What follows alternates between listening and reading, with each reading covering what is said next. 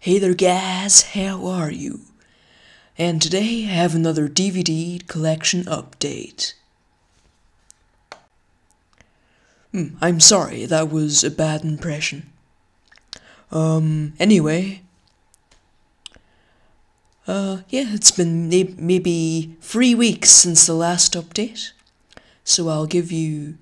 You know, I actually recorded this update a few days ago, but I lost all the footage. Oh dear, I didn't save it properly, did I? So, yeah, let's let's see how we get on. The first one I got, which is a Blu-ray, is Inception. And I did like this film so much that I'm going to put the cover of this Blu-ray up on my wall for anyone who comes into my lovely bedroom to see. Oh, that is a good cover. You should look it up. And I might do a movie review, you know, of Inception. This film has inspired is inspiring me to maybe make my own movie. And anyway, the bonus features on this, as maybe you know, are the extraction mode, dreams, cinema of the subconscious, and I think they spelled subconscious wrong, and Inception, the Cobol, the Cobol job. And this is the ultimate high def Blu ray. And so there you go. The next one, and I went to my local second-hand shop, and in there they had all these like 50 cents DVDs. So I had to get at least one of the second-hand DVDs. And I think the first DVD I got in there was Batman Begins. Um, and I have seen The Dark Knight. I haven't seen The Dark Knight Rises or the Tim Burton Batman films or the ones by Joel Schumacher. And thank God for that. I hear Batman Robin is a terrible, terrible film. But Batman Begins. Maybe this will. I haven't watched this yet. Okay, I watched some of it on TV when it was on and it might be better than The Dark Knight. The Dark Knight uh, was very groundbreaking and everything, but this. Uh, oh, by the way, this is the one disc edition DVD. As I told you, it was 50 cents.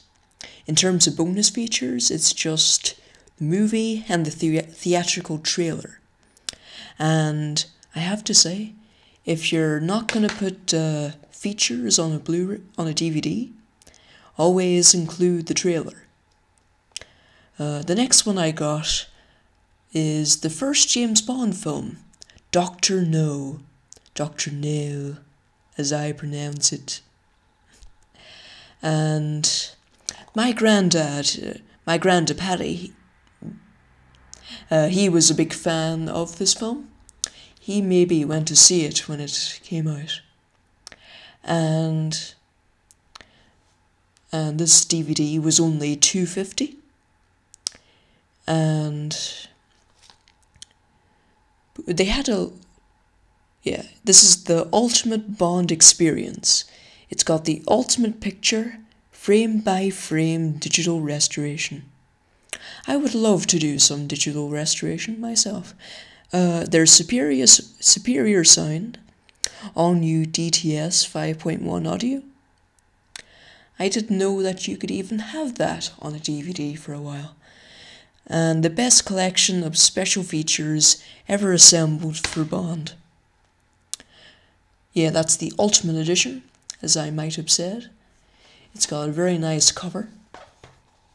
And haven't watched this yet, but I will uh, watch it this week. I am recording this video on the 12th of June 2018. So there you go. The next one I got, which uh, some people call it um, the downfall of this franchise, but I might like it. I might like it. It's Pirates of the Caribbean, uh, Dead Men Tell No Tales, or Salazar's Revenge. And this was only eight bucks, uh, second second hand, obviously. Uh, I normally wouldn't say this in a video, but this was owned by Christopher H. And I own a lot of Christopher H's DVDs. Apparently. Captain Jack has his swagger back, says Digital Spy. Hmm, yeah. Not er- I don't think everyone would agree with that. Uh, anyway, correct me if I'm wrong, but um, anyway, the disc. Uh, this is just a DVD version, and um, yeah. I haven't watched this yet, but I'll watch it maybe, Jesus, maybe tonight. Goody. And so those I, I did buy a video game as well. I bought Star Wars Battlefront. And not the second one, the, the first one. And Star Wars Battlefront, I was playing it at the weekend was it a good game? Well, I played the PlayStation 4 version, by the way, not the, the Xbox One version. And if that's okay, as you probably know, it was made by EA Games. And in terms of EA, I think I prefer Battlefield 1 as a game, but which I did did uh, mention in one of my updates, I think. You know, I did mention uh, Battlefield One, Battlefield One, but uh, Star Wars Battlefront. I love to swing my lightsaber as Darth Vader, and you know, kill twenty free enemies. Uh, as inter- interesting as that is to say, and yeah, I didn't play the multiplayer. I played it by myself because why the hell not? And the last two DVDs that I got from Tesco's uh, are Darkest. Well, one the one I got on release date for maybe twelve ninety nine or thirteen ninety nine is sorry Darkest Hour with Gary Oldman. Yes, and Gary Oldman says in this movie. So, what do I think of this? Uh, all I'm going to say is Gary Oldman says in this movie, You cannot compete with a tiger when your head is in its mouth. um, very good dialogue. So, that film uh, I did see it in cinemas. Pirates of the Caribbean, Salazar's Revenge.